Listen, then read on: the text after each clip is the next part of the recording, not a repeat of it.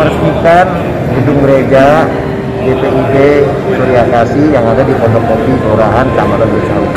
Tentunya ini diresmikan memiliki legalitas yang jelas.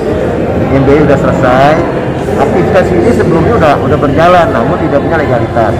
Nah, alhamdulillah saya usulkan ke Pak Gubernur, rekomendasinya terturun, akhirnya diurus ke PPSP. Maka pada hari dari pihak jemaat dan pihak pengurus minta Pak Wali harus bisa. Jadi saya hadir atas undangan beliau untuk meresmikan GPIB Gereja Kuliah Kasih ada berkopi. Kan saya sampaikan, yang namanya kebinekaan itu di semua agama harusnya tetap berjalan dengan baik. Ketika ada resmikan seperti ini, pasti ada bantuan. Ketika resmikan masjid, pasti ada bantuan. Saya kira semua sama seperti itu. Agama tujuannya semua saya kira baik, kebaikan, untuk kepentingan hidup bersama.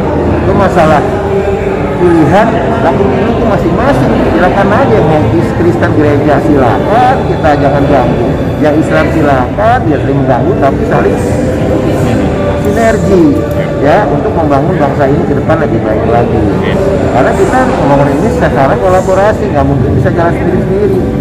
Saling mengisi saling membantu saling menyumbangkan pikiran yang baik supaya ke depan lebih maju lagi.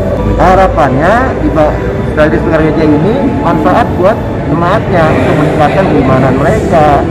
Mereka bisa membangkitkan rasa sosial pada saudara-saudaranya. Agama kan tujuannya sana apalagi ketika orang susah kita bantu. Kita bisa interaksi dengan baik diatur dengan kita yang mereka yang ini. Kira seperti itu. Apa pun. Kira tujuan agama tujuan pasti baik Gak ada tujuan agama saling membunuh, saling menyakiti. Uh, puji Tuhan, ya, alhamdulillah ya, Pak Wali Kota yang sangat berperan aktif ya, sehingga kami gedung gereja ini memiliki legalitas keberadaannya, IMB-nya sudah lengkap dengan sertifikat, ya, dan kami tentu beribadah dengan lebih tenang lagi, Pak, ya, lebih nyaman, ya, dan kiranya warga jemaat ini lebih bersosialisasi di lingkungan sekitar gedung gereja ini.